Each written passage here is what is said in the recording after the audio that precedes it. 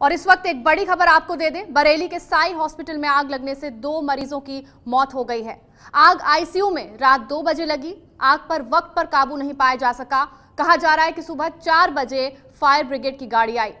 यानी दो घंटे बाद फायर ब्रिगेड की गाड़ी मौके पर पहुँची। बरेली के साई हॉस्पिटल में आग लगने से दो मरीजों की मौत हो गई। आग आईसीयू में लगी और रात दो बजे लगी, लेकिन वक्त पर दमकल की गाड़ी नहीं पहुँची। सुबह चार बजे फायर ब्रिगेड की गाड़ी पहुँची। बरेली के साई अस्पताल में यह दर्दनाक हादसा हुआ है। आईसीयू में आग लगने से दो मरीजों की मौत हो गई है।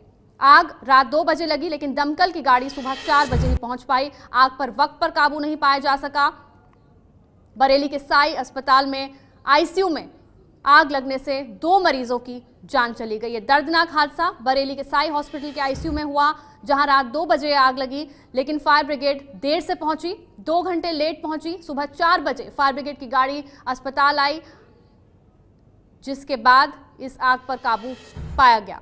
सुबह चार बजे दमकल की गाड़ी पहुँची बरेली के साई अस्पताल में, आग लगने से दो मरीजों की मौत हो गई। दो घंटे बाद फायर ब्रिगेड की गाड़ी पहुँचने की खबर है। सुबह चार बजे दमकल की गाड़ी पहुँची, जबकि आग दो बजे लगी थी और इस आग में दो मरीजों की जान चली गई। बरेली के साई हॉस्पिटल की खबर, आईसीयू में आग लगने से दो मरीजों की जान चली गई। ये तस्वीर हम आपको दिखा रहे हैं।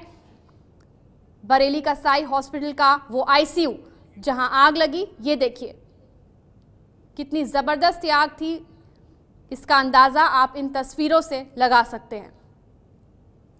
बरेली का साई अस्पताल, जहाँ आईसीयू में आग लगी और इस आग में दो मरीजों की जान चली गई।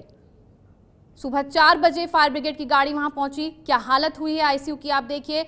आग इतनी भयंकर थी कि दो मरीजों की जान चली गई। ये है एबीपी न्यूज़ आपको रखे आगे।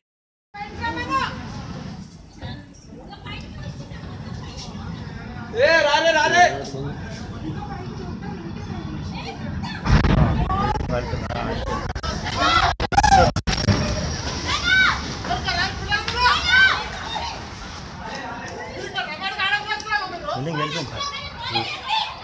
అయిపోయింది. ఎట్లా బెదిరిస్తాడు వాళ్ళని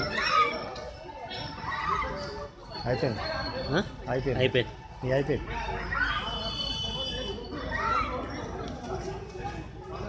ఓకే.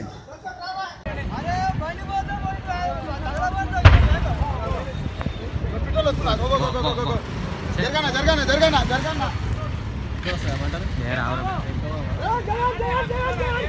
జరగాలి. జరగాలి